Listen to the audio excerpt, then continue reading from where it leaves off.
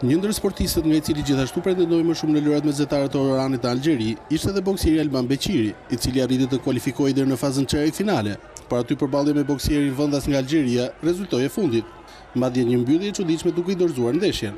Ky vendim për t'u tërhequr, të me pyesësh mua personalisht, nuk është se e doja. Unë jam boksier dhe di vetëm të luftoj, nuk e shikoj në ato momente pjesën e gjykimit, por stafi që unë drejtohesha menduan duke parë pjesën e gjykimit në raundin e parë dhe në raundin e dytë që ishte dukshme që unë isha shumë pastër dhe rezultatet ishin 3 me 0 ato e menduan ishte e kot që unë të boksoja dhe t'i jepja atyre kënaqësinë e fitores në fund dhe ato menduan që të tërhiqeshin dhe t'i lenim të gëzoheshin pa luftim.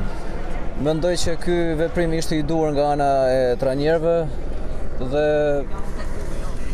këto pakënaqësi kanë qenë tek gjithë. Megjithatë një vendim për t'u tërhequr në atë formë, duke i falur ndeshjen pa mbaruar ajo, Nuk e bëri asnjë kundërshtar, sado tendencioz ishte gjykimi. Në mungesë të gjyqtarëve, pasi nuk kishte gjyqtarë as europianë as botërorë me profesionalizëm, por ishin gjyqtarë vetëm Marok, Siri, Egjipt, Algjerian. Dhe këto normalisht dihet që u pa dukshëm edhe në ndeshjet e tjera që gjykimi ishte për boksierët e tyre vendas. Në këtë mënyrë Shqipëria mbyll me boksin në lojët mesdhetare në fazën çerekfinale, pa arritur pritshmëritë e prag lojërave.